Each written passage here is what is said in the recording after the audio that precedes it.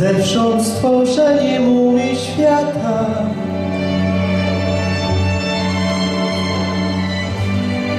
Cichością swoją i milczeniem.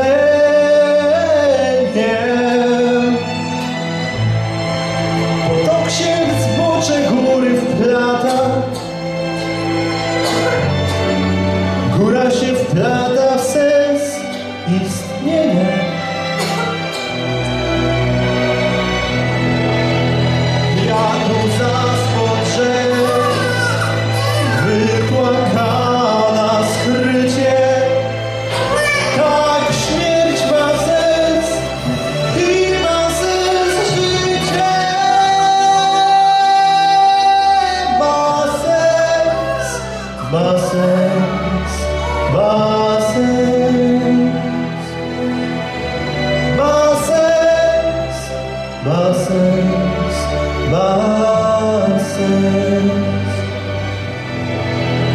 Zdumieniem był i sensu odkryciem